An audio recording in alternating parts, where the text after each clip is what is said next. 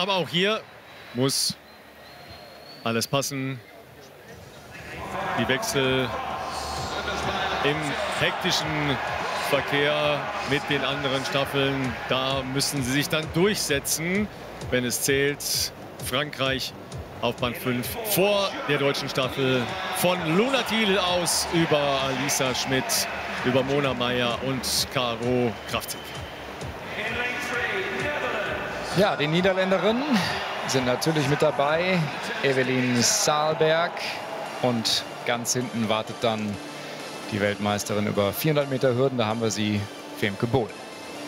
Ja, und die Top-Nationen, die wissen, dass es eng werden kann. Deshalb auch Polen mit der stärksten Besetzung hinten drauf. Natalia Kaczmarek, Zweite geworden über die 400 Meter.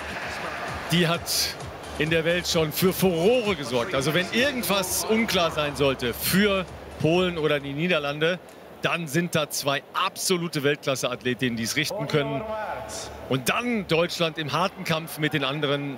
Auch die haben die Chance, direkt reinzukommen ins Finale. Carolina Kraftzig kurz gesehen. Die brennt total, hat uns Jörg Möckel, der Bundestrainer, noch gesagt. Deswegen ist sie mit in diesem Quartett dabei nach ihrem Halbfinaleinzug über die 400 Meter Hürden. Aber jetzt erstmal erstes Halbfinale. Viermal 400 Meter. Die ersten drei schaffen es direkt.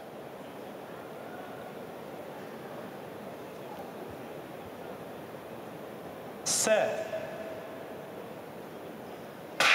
Ja, wieder lange gewartet. Der Starter spielt ganz schön mit den Nerven. Luna Thiel ist unterwegs. Die Athletin des VfL Wolfsburg, die recht spät, aber gut in Form gekommen ist und deswegen mit diesem Staffeleinsatz belohnt wird. Auch in Erinnerung an den guten Auftritt im vergangenen Jahr bei den Europameisterschaften. Hält sich stark. Luna Thiel da im Mittelfeld sozusagen dieses Bildes Jamaika vorne und Nigeria in grün. Das sind die beiden Führenden. Aber Luna Thiel macht das momentan wirklich passabel. Muss man jetzt sehen, wie sich hinten raus entwickelt. Jamaika ist vorne und dann kommt Kanada an Nigeria vorbei. Ganz außen die Spanierin. Hartes Ende, aber der Wechsel hat gut funktioniert. Und jetzt Alisa Schmidt, die in der Mixstaffel so stark unterwegs war. Das heißt jetzt Kontakt herzustellen, Jamaika und Kanada vorneweg. Dann dieser Fünferblock da, wo Alisa Schmidt reinlaufen will. Nigeria kommt da sehr schnell nach vorne. Sie bleibt ruhig, weiß, dass sie Qualität auf den zweiten 200 Metern zu bieten hat. Jetzt muss eine Attacke noch her, denn der Abstand wird sonst zu weit zu den vorderen Staffeln. Jamaika, Kanada, Nigeria, Frankreich, Polen, die Niederlande, die deutsche Staffel zweitletzte. Wechsel auf Mona Meyer, die unterwegs ist und da gut durchgekommen ist, muss aber Anschluss finden an die Polin die ja dann mit dieser unglaublich starken Schlussläuferin Natalia Kaczmarek noch einen riesen Trumpf da im Ärmel im Team haben. Vorne Jamaika und dann gehen dahinter die Plätze um die Positionen ab, beziehungsweise der Kampf um die Plätze. Und Mona Meyer hat es schwer, muss aber sich ransaugen, irgendwie an die Polin ran macht das gut, aber es ist verdammt herausfordernd. Polen geht jetzt raus.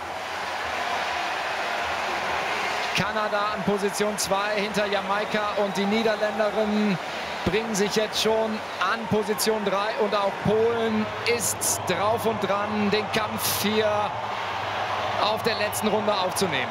Für Deutschland jetzt Carolina Kraftzig. Die hat sehr gut gewechselt. Frankreich gleich überlaufen. Vorne immer noch Jamaika und Kanada. Die Kanadierin ganz stark. Mit einer geschlossenen Leistung haben die sich hier in eine sehr gute Position gebracht. Dann kommt Femke Bohl. Dann kommt Kaczmarek. Die sind aber noch weit weg. Das wird ein Kampf zwischen diesen beiden Weltklasseläuferinnen um den dritten Platz. Caro Kraftzig versucht da, die fünfte vor ihr noch einzusammeln. Wird aber ganz schwer. Jamaika, Kanada, schon eine Überraschung. Bohl und Kaczmarek, was für ein Duell da um Rang 3, um den direkten Einzug ins Finale. Bohl bringt die Niederlande direkt rein. Dann die Polinnen, dann Frankreich vor Deutschland. Das ist leider jetzt schon das Aus in diesem ersten Halbfinale.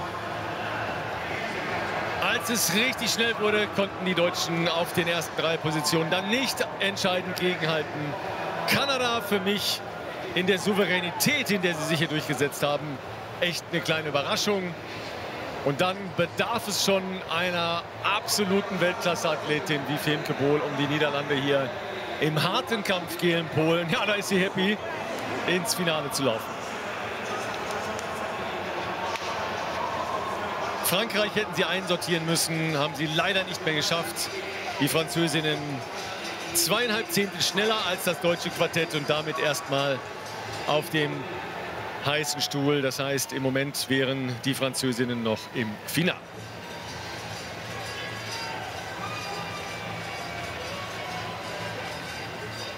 Sowas passiert dann auch. Stab hingefallen. Und dann geht es aus dem Stand wieder los und weiter.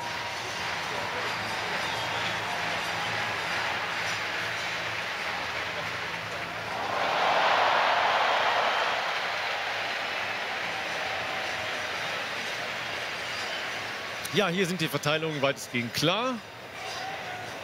Carolina Kraftzig hat hier noch mal alles reingehauen. Ganz knapp hat es nicht gereicht, die Französin da noch einzusammeln. Dann gäbe es jetzt noch Hoffnung.